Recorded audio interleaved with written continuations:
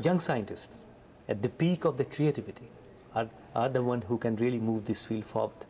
Because every scientist, as the year grows, he or she gets rooted in certain ideas. And uh, those ideas have taken us so far.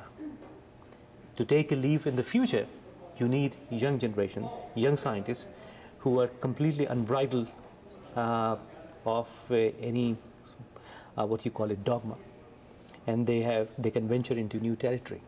So it's extremely extremely important that we provide all the resources to the young scientists and give them give them all the resources at the time when they are at the peak of their creativity.